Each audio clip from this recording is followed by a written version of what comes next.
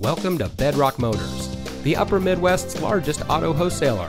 And here's a look at another one of our great vehicles in our inventory and comes equipped with heated door mirrors, split fold down rear seat, rear park assist, dual front side impact airbags, premium smooth ride suspension package, third row seating, Bluetooth smartphone integration, Sirius XM satellite radio, six way power driver seat adjuster, heated front seats, and has less than 90,000 miles on the odometer.